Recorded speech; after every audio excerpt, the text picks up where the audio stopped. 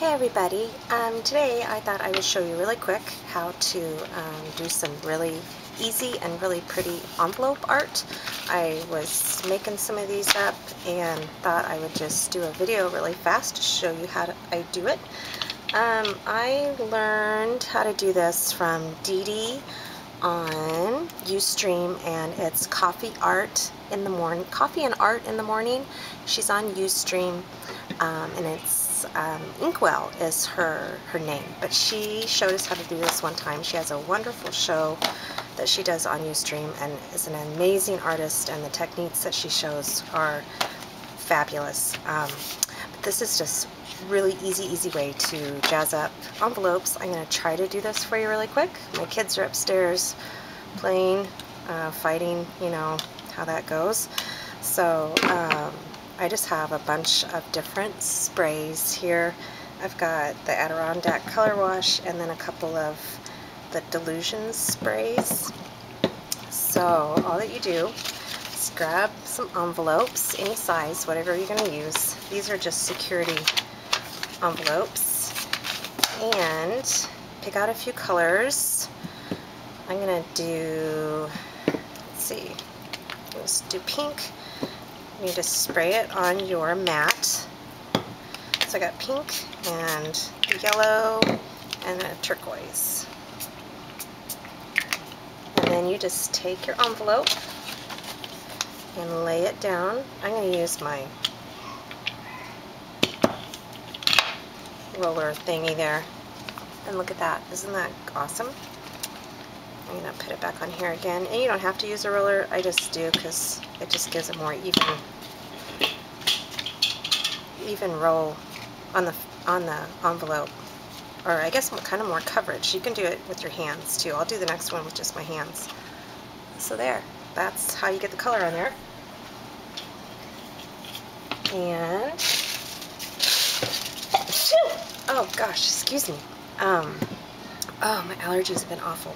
Um, let's see.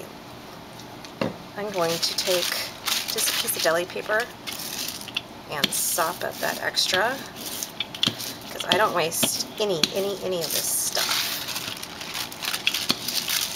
And I love doing this with deli paper because then I just layer this on all sorts of projects. Okay. So now I'm going to go ahead and wipe it off because there's still quite a bit on there, see?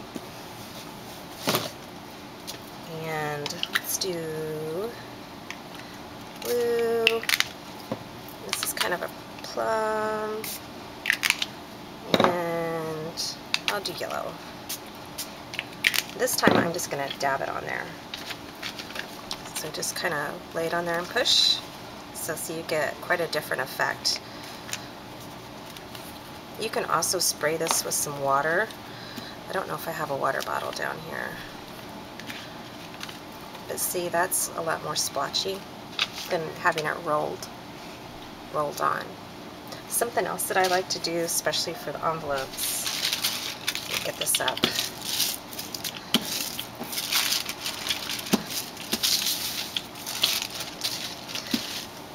Um, kind of try to plan it out a little bit.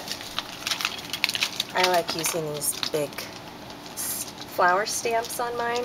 This one's from Stampendous Jumbo Cling Rubber Stamp. It's the peony. So I know that I want my flower to be like right here on this envelope. So you can do this two ways. You grab some more envelopes. You can either spray it, spray the color directly onto your envelope. So let's see. So here's my flower. I'm going to kind of do a splatter of yellow and then just spray some pink on there. And I'm going to let that dry. We'll come back to that in a second.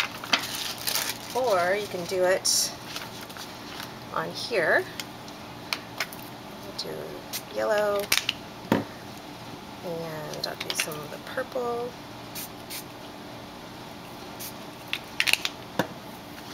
and I know that I want it to be on this side of my envelope so I need to flip it over and make sure that I do this side.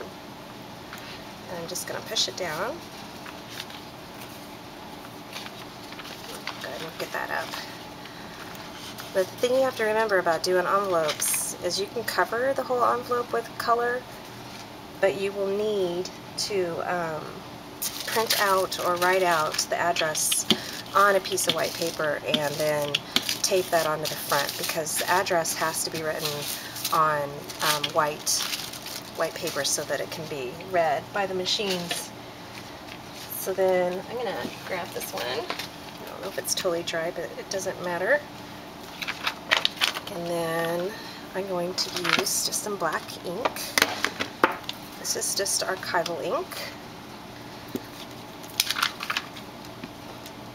Sorry you're wobbly.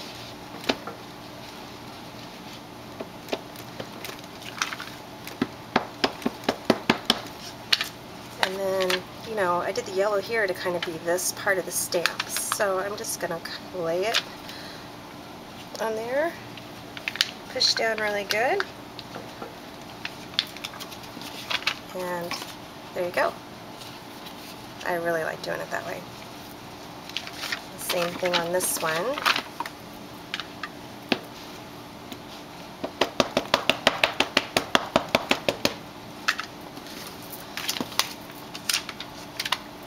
This one is kind of a bit different. I'm going to do it this way. Put the yellow in the wrong corner, so the light part of my flower is on this side instead of in going inside to the envelope. And there's that one. So those both look really, really cool. And then back to these, I like, I still like adding some stamped images on this. This one needs more stuff on it. Let's do some pink. You know, I just might spray it on there. There. I really like using this dandelion one. Or, I don't know if it's dandelion. I guess it's not. Um, I really like using this flower on the cards. I think this is Hero Arts. I don't have the original package to it. But just the same thing. Stamp it with some black ink.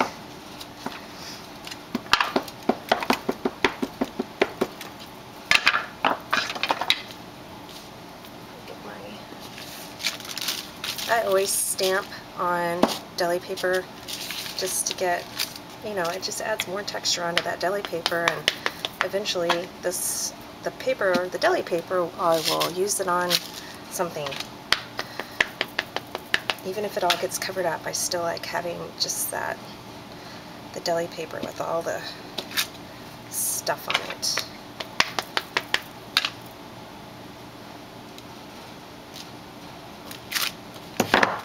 So there's that one. Really, really quick and easy. Another thing that you can do is I've got this stamp here. This is an old, it's pretty old. It's from Hero Arts. Um, it's called Real Poppy.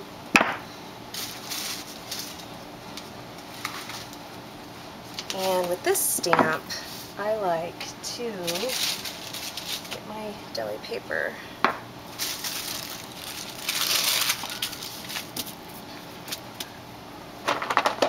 And I've got some gelatos here. With this stamp, I really like to do a watercolor with it. I'm going to get a clean paper, page of deli paper. So I'm just going to use some yellow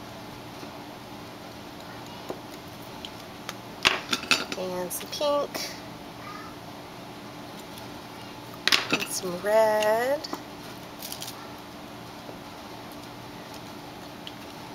if you haven't ever used gelatos before the easiest way that I can describe them is it's almost like a cream eyeliner pencil or like lipstick that's pretty much the texture of them um, I was going to use my Neo 2s, but I'm not really quite sure what happened to them. Um, but this works great with gelatos too. But you just, after you color it on there, spray it with a little bit of water. Let it sit for a second.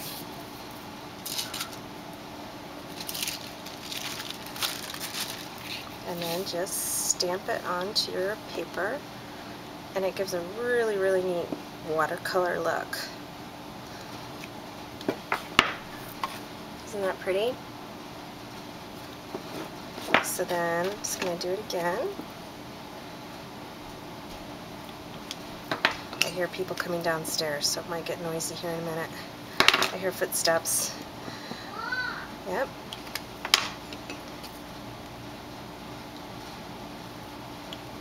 I'm being summoned. Okay, let's spray this one.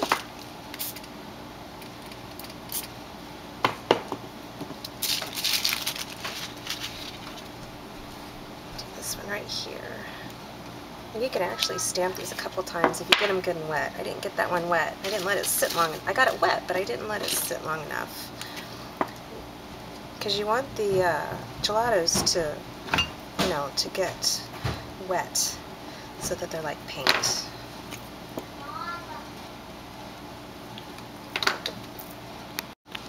Okay, yep, they're starting to argue.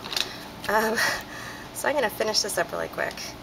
So I just rubbed it really good with the gelatos, get it good and wet, let it sit there for a second. And sometimes I just kind of tap it around with my finger to make sure that it's starting to work. And then stamp it onto your envelope. That one turned out really good. I put quite a bit of water on that one that time. So see? Really pretty, really easy. I've got this little snail mail one that I like to use just because it's fun. I mean, you can do all sorts of stuff. There are some amazing, amazing things. But I like just kind of keeping it simple and, uh, you know, just so it's a little pretty when you send RAKs or whatnot. But for sure, and, the, and these, and this one for sure, I will write out the address on a piece of paper and tape it on the front. And the same with mine too, um, my return address. Because you don't want it to just get lost in the mail or held up because the address isn't showing up right. Um, but anyways, I hope you enjoyed this really, really super quick little tutorial just on how to make some quick and easy and simple and fast envelopes. Thanks so much. I'll see you guys later. Bye-bye.